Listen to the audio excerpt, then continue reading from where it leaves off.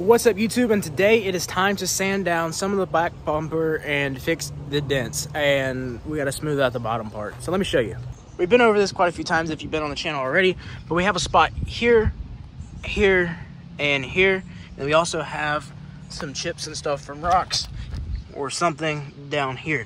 So the first thing we need to do is clean this entire bumper off with soap and water and then rinse it down, make sure everything's dry. I'm gonna back it into the garage and we're gonna begin working on repairing this. Um, I will show you what we're using. We're using Bondo plastic bumper repair. Never used this before. Not sure how it's going to work, but we're going to give it a go.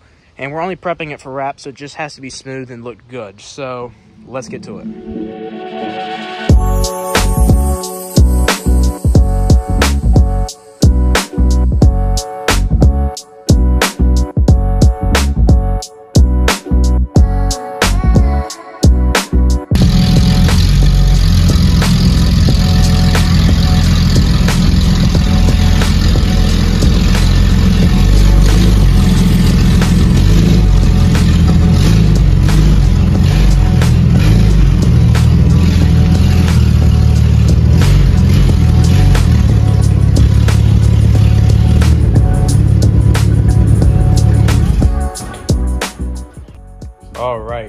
So we got the bumper really clean, at least clean enough for what we're gonna do. Um, I did notice some more spots after we got it clean. So we got this one right here to try to work with, this one, that one. Those are the main concerns. Um, I got a little nick here. We need to sand down, maybe. I don't know if we need filler. We should be able to just feather that out, make it smooth. Um, everything else should be good. It won't show through the wrap. There's a little nick right here we need to fix. And then obviously the uh, spots under there, you can really see it now. Um, and I wanna I wanna sand this down and kind of smooth this out from where the exhaust was. Um, we got a little spot here, here. The main ones we're gonna do for this video is uh, these main spots and then ones on the bottom. Everything else I'll probably mess with a little off camera. Um, and I'll show you at the end of this video how it turned out. Just because I don't want to bore you guys with all the little things and I want to focus on trying to get them as best as possible. And it's not super easy trying to film everything by yourself and do that. So we're going to try to get the main things done first, the things that takes filler, um, and then the other spots I will work with as we go. The next step after this is either to do the Bondo on the doors and the rear quarter or to start working on this hood. We haven't got the names filled up yet, so I kind of want to start. I need, to, I need to catch up on all the names, try to get it done before we sand this down. Uh, still need to get another fender as well for the other side, but it's definitely coming along. Um, I did promise I'd show you guys the interior after I got the other door done. So there is the passenger side. Here is the driver's side. Haven't uh, put any cleaner, nothing on them yet, but it has turned out absolutely fantastic especially for dye. Shout out again to Colorbond for that as well. All right, so for this, I'll be using Bondo bumper repair kit. And if you open this up, I'm trying to do this without everything falling out. You have your paper and instructions. You have a little like grid sheet in case you have a hole you need to fix. You have your exact mix hardener, two hardeners actually, and two of your fillers. So all I do is one pack of filler, one pack of hardener, spread that out. We have adhesion promoter, uh, so for plastic trim, attachments, blah, blah, blah. And then we have, it's gonna fall, I know it is. Yep. We have the spreaders and uh, sandpaper assortment. I also have another pack of sandpaper. This is what we use on the rest of the car, so if we need something different than what this kit has, we have that as well. And I also picked up a just basic rubber sanding block uh, made by Master Pro from O'Reilly Auto Parts, just so we have a sanding block. Make sure you grab a dust mask or respirator. That's all I got, so that's what we're working with. Uh, we use a sanding block after we get the filler and we do our final sand. However, uh, after using wax and grease removal, we'll start with 80 grit and then go to 180. So we're gonna start at the surface area, get down to the plastic, and then we are going to do 180, get down to the plastic. We're gonna go two, two inches outside of the fixable area. I'm gonna get here, here, here, come down here. We're gonna get these spots just so we can put a light coat of filler over that. Um, I don't know if I'll put anything on that. We should be able to just feather that out smooth or smoother than that. Um, mm, same with this, this spot. We will put a little bit right here just so we can like kind of sand that out and smooth that out as well. And I believe that is the only spot on here that we'll be using filler. So we can wait until use the 320 layer on the other spots. So let's get to it.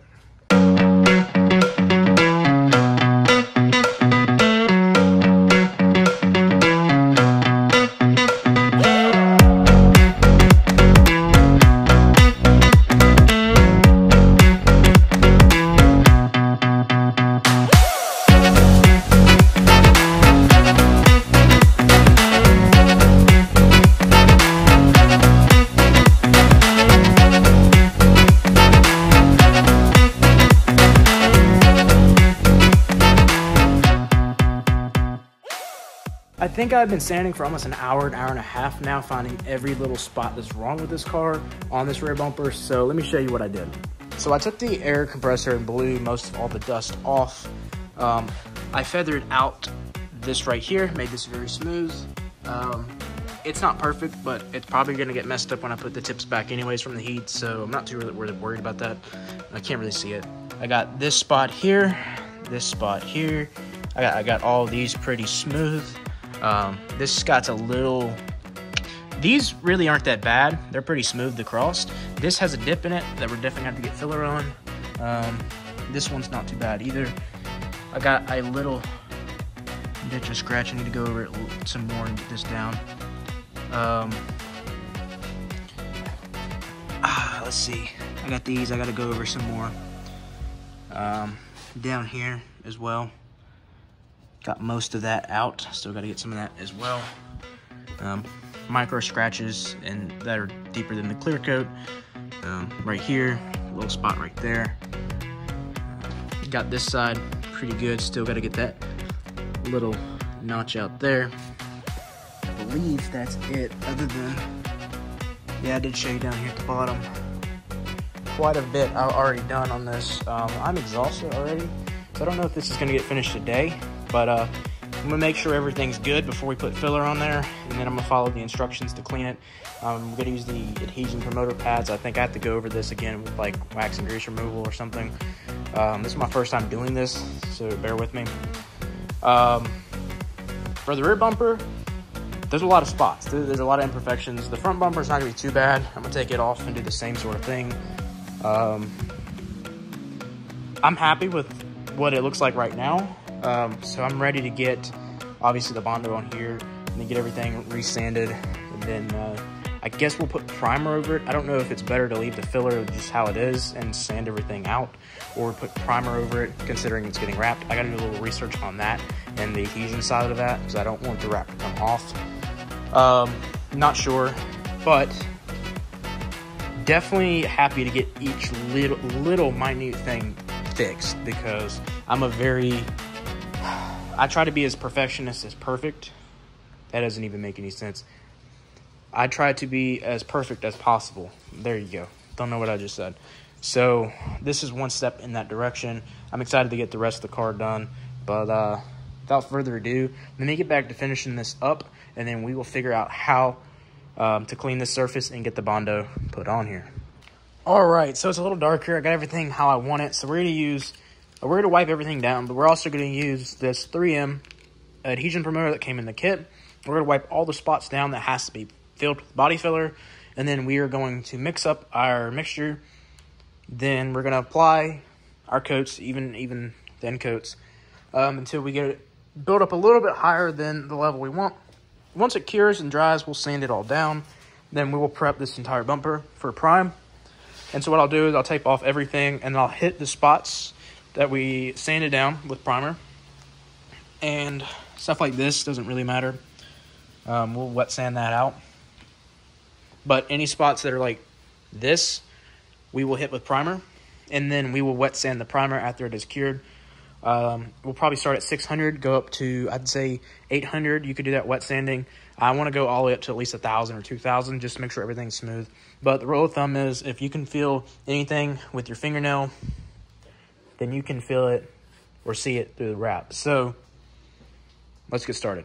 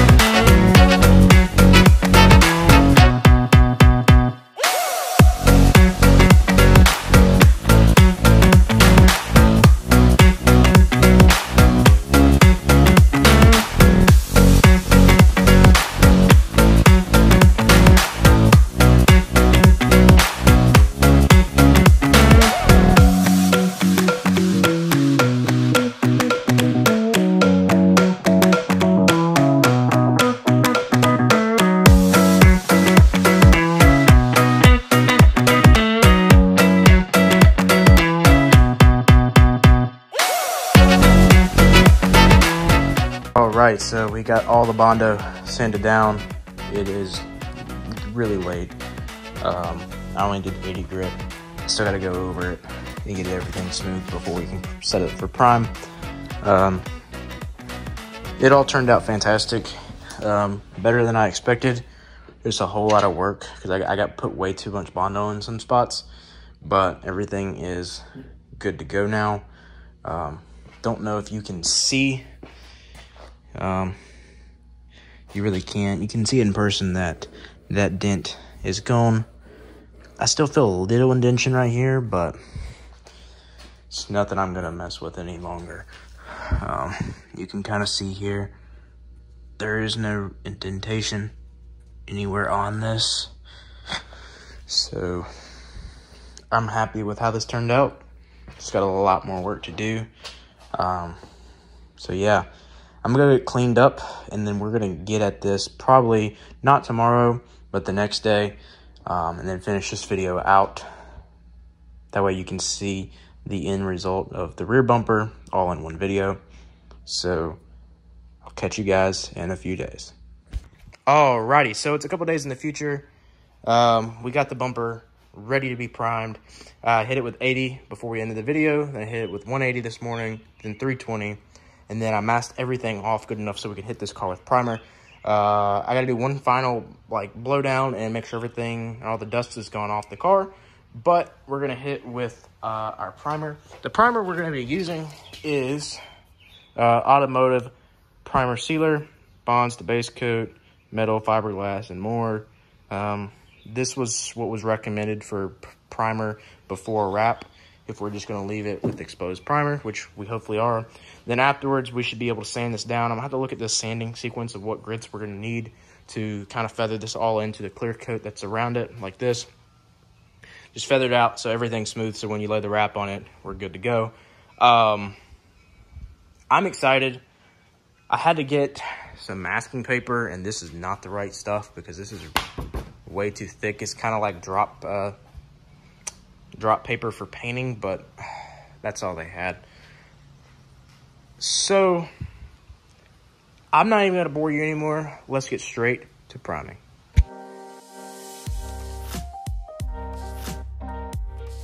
Alrighty guys, so we got the primer on here. I got two coats. We're gonna wait about four hours before we wet sand it. Four hours is normally the wait time for dry sanding. However, I'm gonna wait that just to make sure everything is good. Besides, it'll be after work before I get this done anyways, so it'll definitely be ready to sand. Um, everything came out great. You can't really see on camera because it's not going to focus too well, but everything came out super good better than I expected. It's a little rough down here still, but when we sand it, it won't be bad. Besides that, at the bottom of the car, I just wanted to try to get some of those big chips and little nasty chips from the rocks out, and we did that. So wet sanding it should not be a problem. Same thing with a little bit of the grain here. All right, so we're back. We got our Dawn dish soap and water. And we also got some water in here. Got a I think that's a, a 500 grit sandpaper soaking in there. I also got um, some higher grit that I'm gonna soak after using that. So I just hit all this with like a light mist of soap and water to get everything wet and I guess kind of lubricated surface so that the wet sanding um, is best. We're gonna let that soak. Someone said let that soak for 30 minutes. I don't know about that. Um, that's only I've only read that in one place. No clue what I'm doing, so we're just gonna try to wet sand it and see how it goes. Um, might have to wipe it dry. I, I don't know. We'll figure it out, but let's get to it.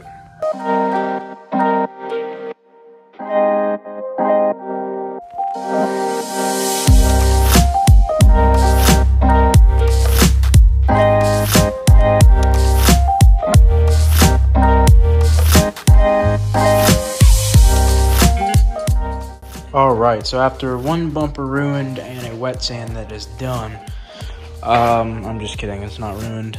It looks like it is though, it looks terrible.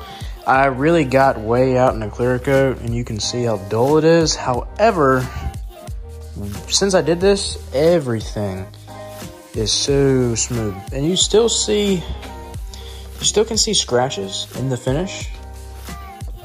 However, we sanded it so fine grit that it's all super smooth, which won't show through the wrap. As long as it's smooth, it's good. It doesn't look pretty, and it still needs to be washed a little bit, but it is super smooth. A lot of this came off in this spot right here because I didn't have a whole lot sanded down. There's not really any Bondo. However, it's also super smooth. Ain't got to worry about it. This, super smooth. Everything super smooth and flat. Transitions feel great. Doesn't look pretty, like I said. Don't really know what I was doing. However, I'm happy with the finish. To be honest with you guys, that's going to be the end of this video because that's all we were doing is just sanding this bumper down, getting ready for wrap. I would say this is wrap ready. However, I'm thinking about getting a little piece of wrap to try on some of this just to make sure nothing pulls off and everything looks good underneath. It should, but for my first time, this was tricky. It was kind of confusing. Um, researching things online wasn't the best. However, we managed to make a super smooth bumper and fix the dents that we originally wanted fixed. So either way, it is better than what it originally was. And we even got all this out down here. You can't see it very well, but it's super smooth. It's almost like it's brand new down there. Just doesn't look like it for now. Uh, the new bump, the new fender is ordered. unfortunately, the other side was out of stock, and we had to actually spend double what that one costs to get the other one. However, it is on its way. Should be here like May 20th. So that should be the last thing to go on this car. We have until then to try to finish this entire car, and I'm looking forward to finishing all the other spots in other videos. That section will be one video. That back section I'll probably do just on my own or make a short video. then the bumper we're going to take off and do it almost just like this, maybe not to the full extent. I don't know how bad it is. And then we're going to leave that bumper off until we go get it wrapped, just so we don't get any dirt, debris, bugs, nothing embedded in our finished bumper cover. So without further ado, guys, I appreciate you guys watching. If you got criticism or like anything that could help me out with future projects, leave it down in the comments because I do not know what I'm doing. So don't try this at home, at least following this guide. Um, but if you do know what you're doing, leave a comment because I'd like some, you know, input on how to actually make this look better and more professional because I know this looks like crap. But hope it's been a good one. This is a longer video than usual, so I'm exhausted. I'll catch you guys next time.